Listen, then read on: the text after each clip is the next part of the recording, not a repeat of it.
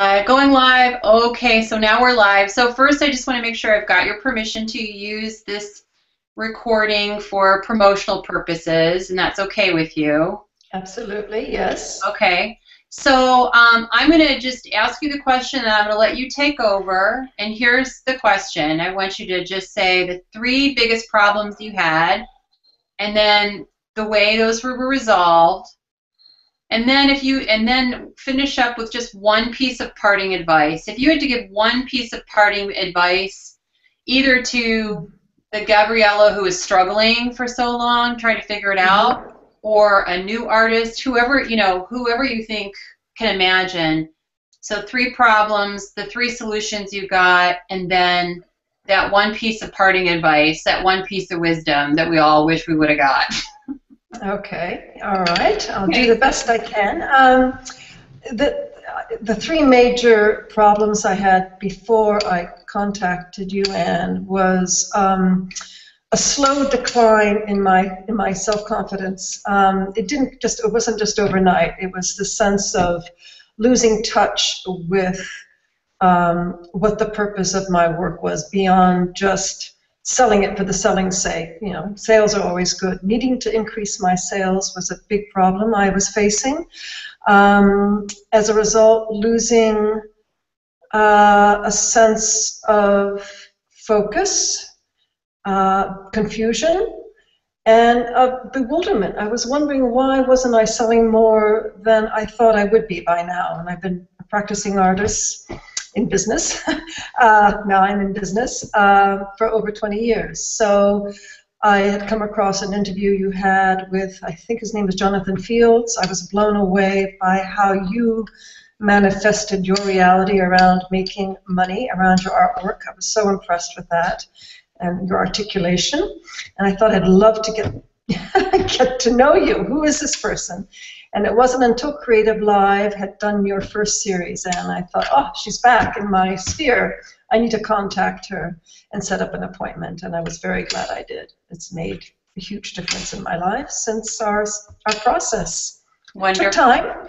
Yeah. You had, time. you, had, you had common problems, so it sounds like you had a lack of focus. You had, which was eroding your confidence, and then it sounds like that was also bleeding into a fair bit of confusion about how to sell your art. So, how did you gain more focus? Let's start with that. Well, uh, what you did right away was uh, you asked me to do a vision map, which I thought wonderful. At first, I thought, why? What's a vision map have to do with selling more artwork? Uh, and went ahead with that with that um, assignment, and it was wonderful to lay out where I'd like to see myself in the next year to five years. Um, and the process that you take me through and you take your other artists through is, you know, the, the, the pain. You take us to where our deep, deep pain is, and from that, where the gems are. You know, you uh, it's a process you take us through, and it's amazing the alignment that takes place over time with my artwork and the deep core values I have and the deep core pain I have. Right, Um, and, you, and as you've got now found your purpose in that pain, so that's so Absolutely. that's, that's how the fo- you gain more focus through that. And how Yeah. would you describe that you gained? Um, what gave you more confidence?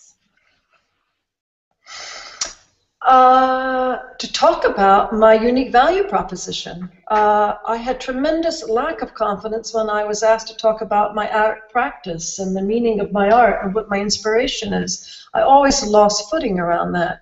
Now, through this process and coming to terms with what my unique value proposition, I have something to talk about. I can stand strong, stand tall, um, not arrogantly tall, but stand firm, um, discussing what my unique value proposition, because the alignment is there. It's who I am. It's what I can offer. Excellent. And, uh, And then in terms, oh sorry, and then in terms of Yeah. um, so you've got increased focus and confidence, and then um, how did you? How was the confusion alleviated for you? Because you said you were quite conf- you were quite confused. Um, how was that Yeah. resolved? I understood uh, more clear what what it is I'm doing here with my paint and brushes and series of artwork. I realized actually, I'm, I'm creating thresholds, believe it or not. It came to me, uh, it's not just about the aesthetic beauty of a piece anymore, it's about um, how my paintings move those that view it and purchase it, and it's about thresholds, if that makes any sense. It's, it's creating um, connection to my unique market. Right. So you understand. It sounds Yeah. like what you're, you're you're what you're saying is that you are you're creating value above and beyond the aesthetics of your Yeah. art now. I was, I was going to say yeah, there's more value to, to the painting. That's right, right. And it's lovely to see how that affects people who purchase them. And it's lovely for me to see how it's affected you because Yeah. you're like you're the same person but you're a different person and I'm very proud of the work that you've done and how open and willing and vulnerable you were and Mhm. um, I appreciate your time and um, you're willing to share this with other people so they understand Yeah, pleasure. the way to do it. Thank you. It was a pleasure. Yeah. Well, I'm sure we'll be in touch again, but I just want to thank you again for your time today and your willingness to share. And I look forward to connecting again soon. Absolutely. Okay, Anne. Right, thanks. take care. Bye. Bye. Bye.